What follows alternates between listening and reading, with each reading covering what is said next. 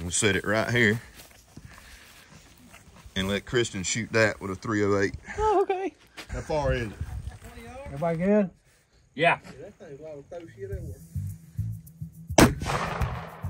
Got him! The bucket ain't got no hole in it. Wow. Where'd you hit it? Right there? I don't know which one of them holes. That was me. So that was you. Yeah.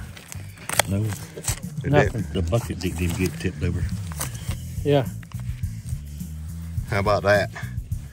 20 yards away with a 308. There's the bucket. Prove it didn't. 175 grain, 308. 175 grain 308 at 2,900 feet per second at 20 feet in an already compromised plate, and it did not go through.